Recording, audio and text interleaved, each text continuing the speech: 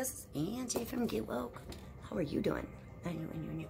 How are we all doing? I hope everybody is doing wonderful, fabulous, enjoying these beautiful, intense energies that are coming through. Okay, so who am I and what do I do? Let's first talk about that because there seems to be some confusion. I am Angie. Yeah, that's me. I'm a double Aries, Sun and Moon. Aquarius rising. so I get a little spicy sometimes and I like to change things up and, you know, have a little fun with it. So, yes. Angie also is an energy reader. That's what I do. I read the energy. I feel the energy. I sense the energy. The energy comes in and it's like, bam, message. So with it, I start picking up on these things. Um, and it's almost, when I pick up on an energy, it's very intense. It's all of a sudden, there's just bam, information in my head. Um, and I'm thinking about something that I had never thought about before.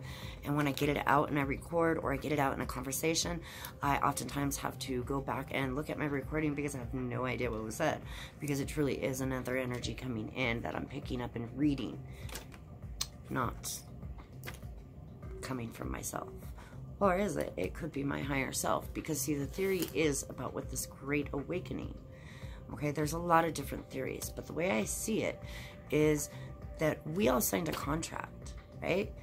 Every single one of you watching, if you're watching this video, my theory and belief is that we signed a contract. See, Earth sent out a call for help decades ago right? And the destruction that the human race was literally causing, just the atomic bombs, I mean, the nuclear. I mean, we were talking some very destructive things. Not only that, but just some of the technology that was being messed with. And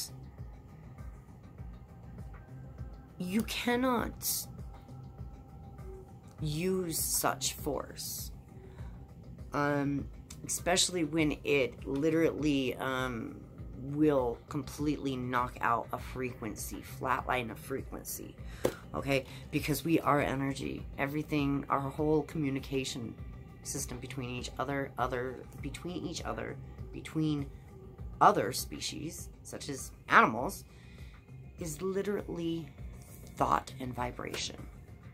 Have you ever been sad and your animal just comes up to you and just knows you're sad? Because they're picking up on your vibration. Are you angry and your animal is nowhere to be seen? They're picking up on your vibration.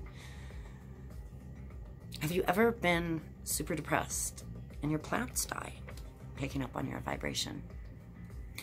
Have you ever been super happy and everyone in the room that you enter suddenly is in a good mood and starts laughing? Picking up on your vibration. We are frequency, we are vibration, we are energy. So when this call for help from our beautiful Mother Gaia was sent out, we answered it. Now, this was not something we were jumping for joy, excited.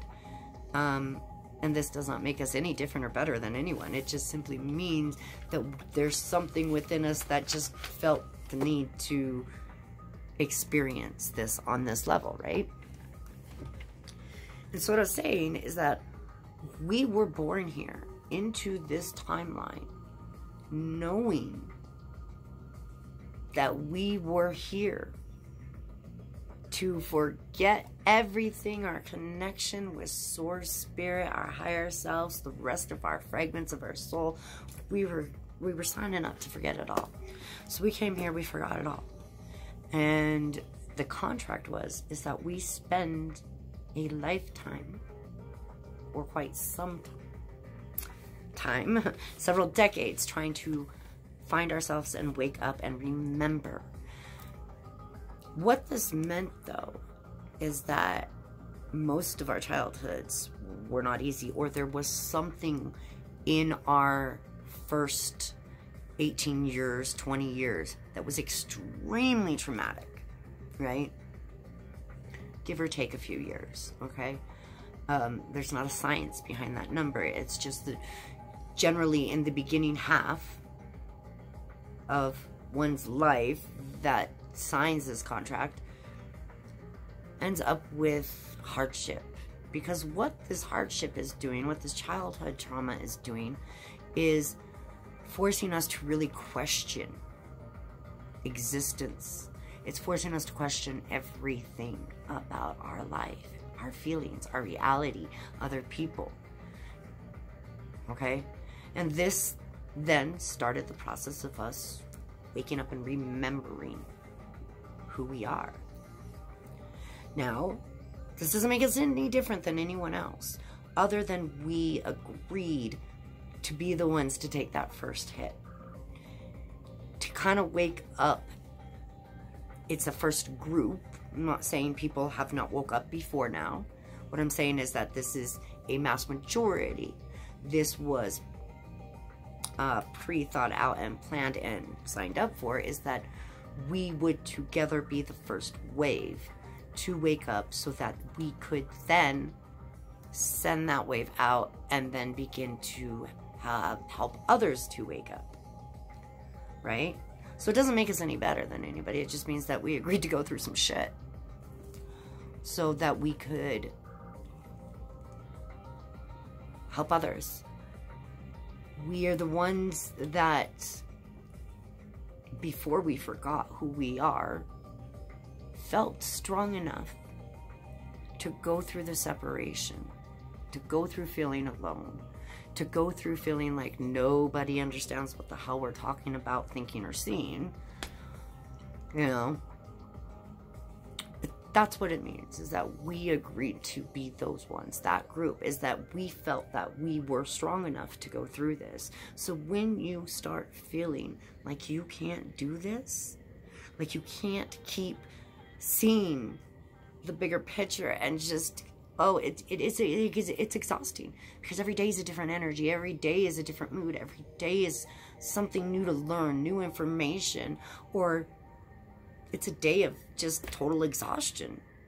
Because i mean we're evolving. Evolution is no joke. We're waking up from a huge slumber. Okay? So it's like going out and running after you've never been a runner in your life. We're just like, our bodies are like, whoa, slow down. I've been asleep for a really long time. Forgot who I was. So see, this is us waking up and then helping the rest of the collective catch on, raise their vibration. You know, I mean, like I said, you go into a room and your vibration is high and you're confident in that you don't let those negative energies get to you, right? Or enter your field. You then start projecting this beautiful vibration and frequency out to those around you. They start picking that up. Their vibration then becomes higher. And when your vibration is at a higher point, frequency, um, different parts of you open up, different parts of your mind open up, you know, different, your chakras open up. There's new flow of information. Your brain gets dusted off and is tick-tocking, right? This is a very good thing. So this great awakening is, it is a very spiritual journey because it, it will test you. It will push you to the limits. It will test you to the limits. But there's a reason why we all keep going. And see, that's the thing, is none of us know what that reason is. We just know it feels right. We know that this is what we're supposed to be doing. We have this faith that this is it. It feels good to release so much pain from this lifetime, right? From our ancestors' lifetimes, right? But see, what all of this also means is that I also see so many groups out there that are literally talking as if there's some extra dimensional but dimensional being ET that is going to come in and save us. Some race, some Arcturians, Pleiadians are gonna the Greys are gonna come in and save us.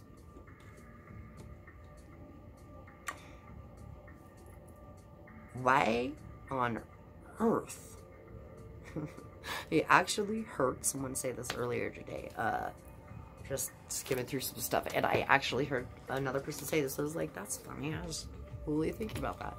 Um, about how basically when we're like, "Oh, someone's gonna come save us," we're literally asking our higher self our the rest of our soul fragments that are spread out all over the place to come in and save us. Do you think that this is the only place you've ever had your spent a lifetime? We're sitting here saying, well, what race do I originate from? Am I an Arcturian?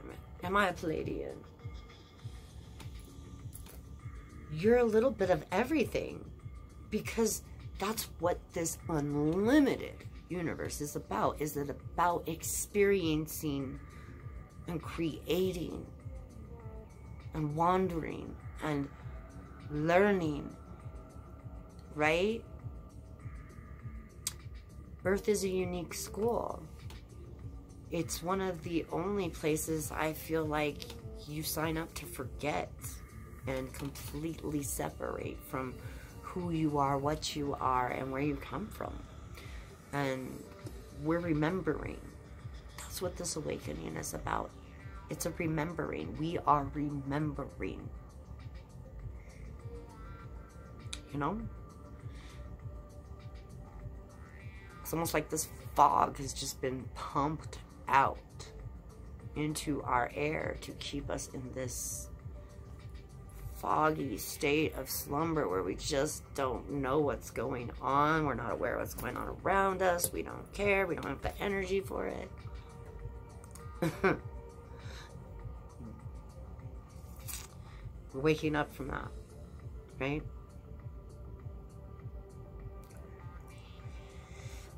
My snake just scared herself. Sorry. That was kind of funny. Um, so, what this so honestly, like the really the best thing I could say to you is stop worrying about where it is you came from, what it is all about, and the exact right way to do it. Okay?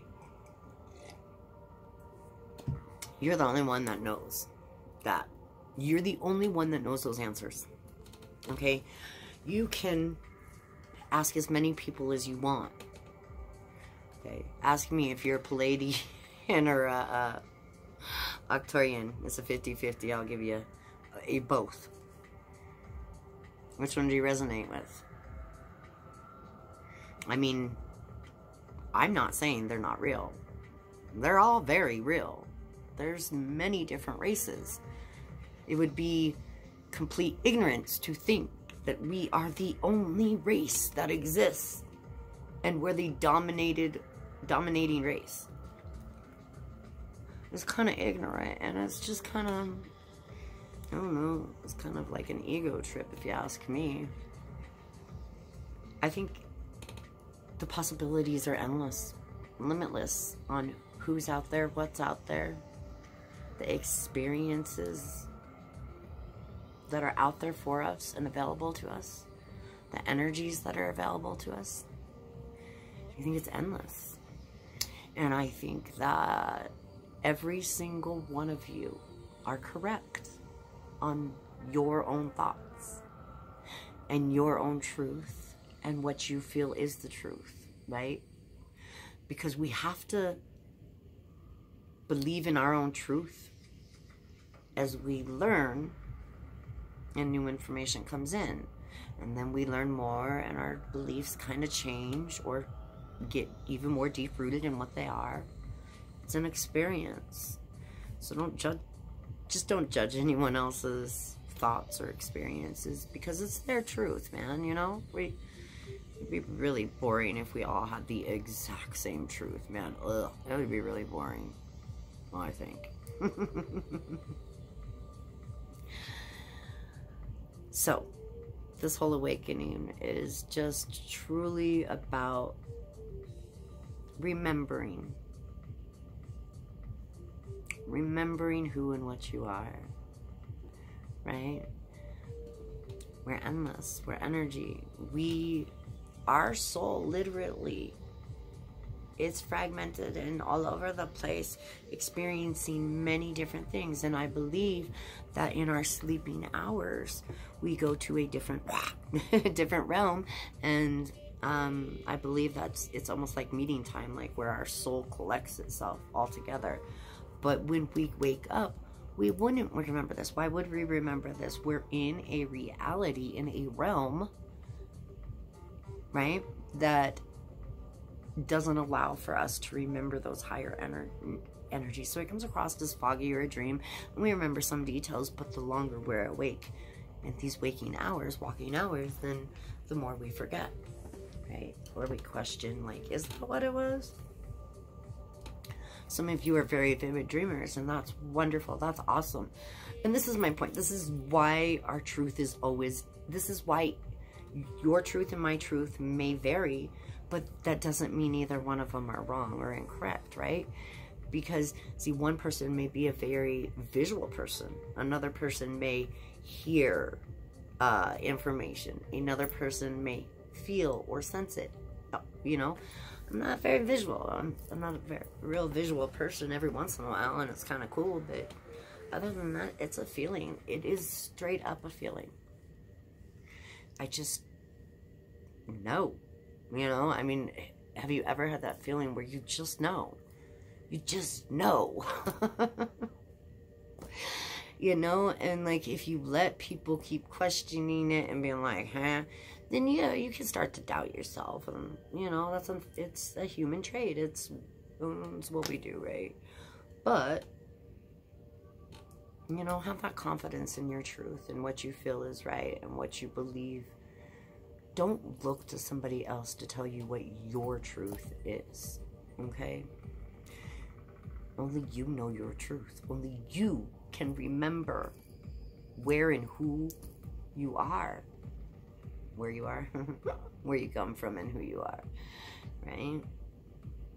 I think it's beautiful that we're all so different and believe so many different things because we could learn so much from each other. Right? Imagine meshing it all together That'd be pretty weird, pretty wild. So I also want to talk to you about.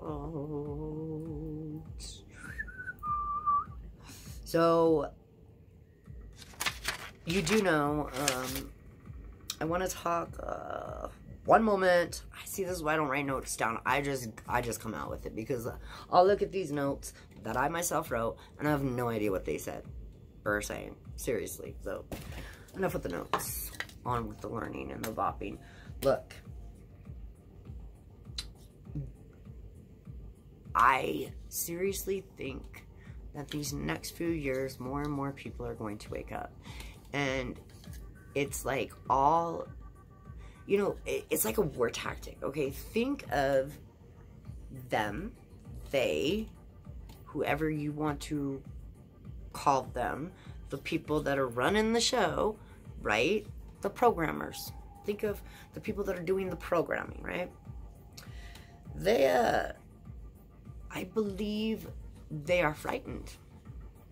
I believe that they realize that they are losing and lost. They've already lost. Like, we're waking up.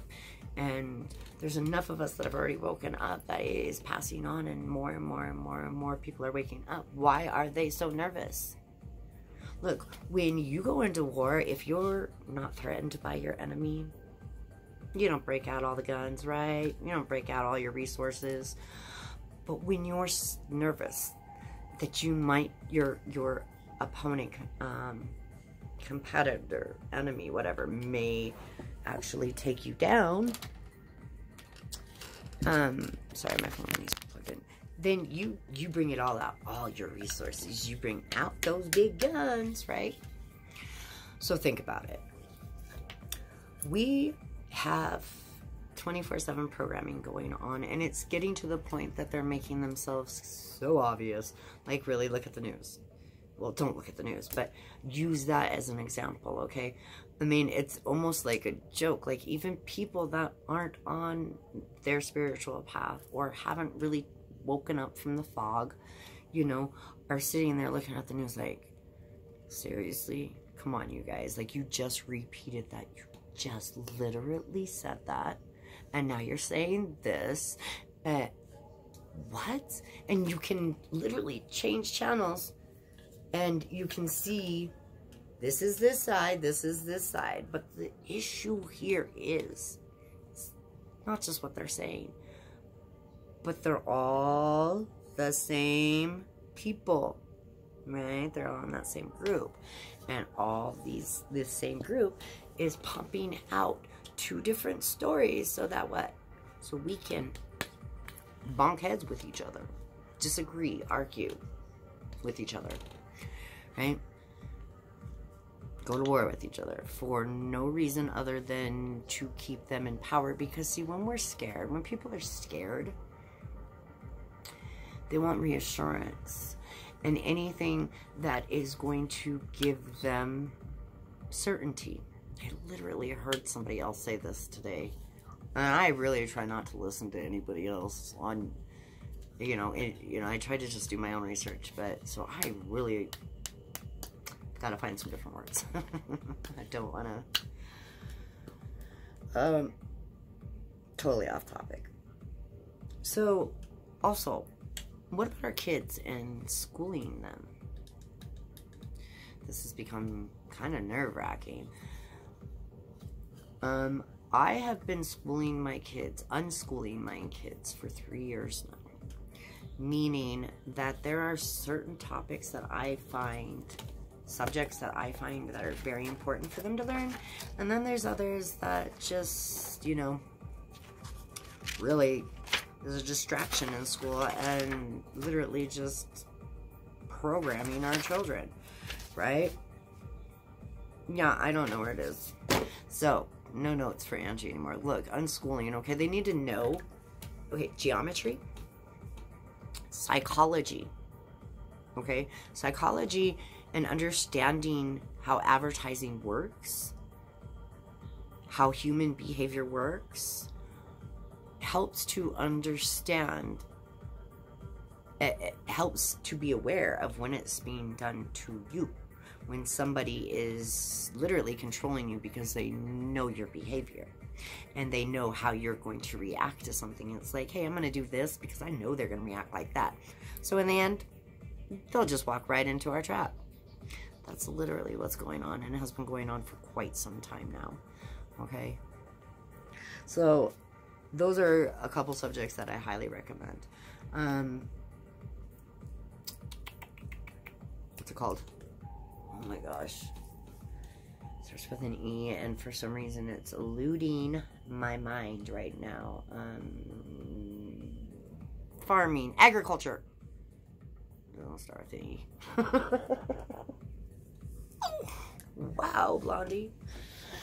So, um, agriculture, because agriculture is important. It's important that they, um, our children know how to grow their own food, harvest their own food, um, you know. It's important they know how to take care of the environment. They, it's important they understand what is healthy, what is not healthy. Uh, let's see, what else did I have? Physics, quantum physics.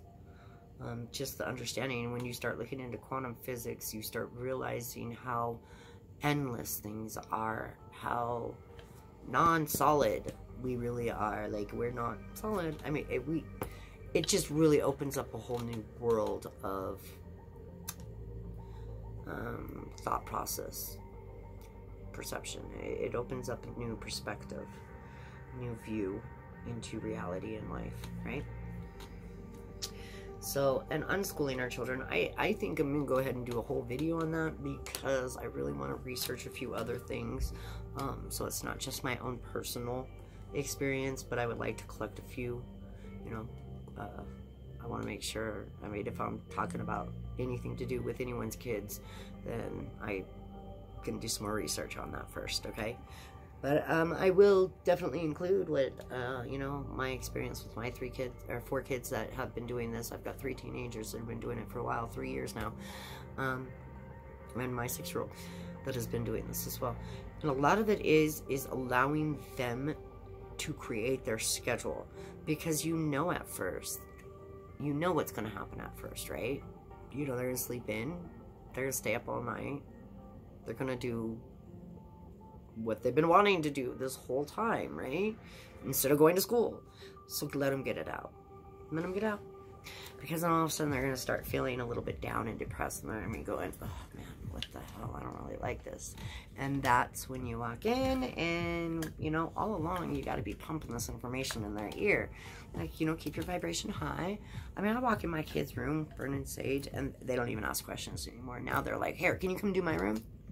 You know, at first it was, Mom, that stinks. And now, just by doing it, not making a big deal of it, but them understanding what it is I'm doing, them understanding that it truly does lighten the energies in the house. And even if it isn't something that actually works, it is that psychology that is saying, okay, yeah, things are better, you know? And so just, it's the psycho, it's literally the psychology of them seeing me do these things, you know, filling up my oil diffusers, anything like that, putting salt around the house, you know, whatever it is. Um, we all have our different things. And I do many things, um, especially on the full moons, around the full moons, generally right before the full moons, um, to make sure the energies are cleansed, very cleansed. Um, new moons. So, you know, do it quite often. And uh, my kids see this, and it really, truly has made a difference. You know, it's nice to, instead of them complaining about the smell, they're like, hey, mom, can you come do my room? And, you know, they're smiling, they're happy. You know, uh, like, to have a teenager come up and be like, hey, can you recharge my crystal? Is just neat. But it didn't start that way. That's not how it started.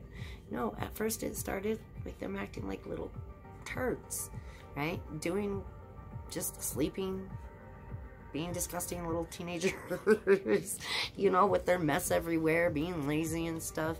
And they had to learn that that didn't feel good, right? I can tell them all day long. You can tell your kids all day long. But until they understand how it feels and that it doesn't feel good, and it does feel much better to have a nice, you know, a clean area. Uh, or an area that you know is inviting that is comforting to you whatever style that is to you um, you know once they understood that then they themselves would keep they tend to keep it up more. Instead of me having to be the nagging mom like you need to do this you need to do this you need to do this because that creates the opposite effect okay I mean, there's many of us that had stuff drilled into our head that we just could not stand, right? Just certain things we could not stand doing. And as adults, we look back and we're like, that's why I don't want to do that. You know, I mean, there's certain responsibilities like, do not hand me a basket of socks. Uh-uh. I had that, it was my chore as a kid, right? Every weekend, I had to sit there and match an incredible amount of socks, right? And I couldn't do anything as a teenager until it was done on the weekends. Let me tell you, as an adult, mm-mm, mm-mm. I'll go barefoot in the winter, damn it. no, I mean, I just don't like matching socks. I don't like matching socks, you know? I mean, you just don't like to sit there and fold them and match them all up. Sure, that would probably drive some of you nuts, but we all have our thing, right? We all have our thing. I hope this video uploads, I do. This is just real talk. It really is, okay? Um, I'm a real person going through this journey just like every single one of you. I felt very alone, very separated. And because of the life, my day-to-day, -day, my day-to-day -day life that I live and have, I, I'm not trying to sound pathetic or anything. I love my life. I'm happy. I'm content. But I don't have anyone to talk to about this stuff. Like, I just don't. I simply don't. I can talk to people because I find so much of it so interesting and I can talk to people in this house. Nothing is wrong with this, okay? I'm not downing anybody. Oh, I just want to go so in depth with some of this stuff and it's just gotten old to them they don't want to hear it no more you know they're not as is simply they're just not as interested in it as i am they don't understand it or see it the way i'm seeing it and that's okay because there's things in their life that are their interest that i just want to hear. I don't want to hear about the PlayStation all day long. Okay, I really don't. just like they don't want to hear about my stuff all day long. So it's nothing that is wrong with it. It's just that um I my personal day to day life uh, is not interaction outside of the house constantly with other people, adults or whatever. I guess you want to say. I like I like myself. I like my solitude, whatever. Um, but it left me really, really alone. It left me without anybody to talk to about how I was feeling. So it was YouTube.